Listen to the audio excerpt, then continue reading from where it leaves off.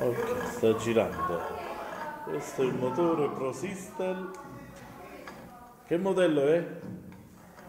61D.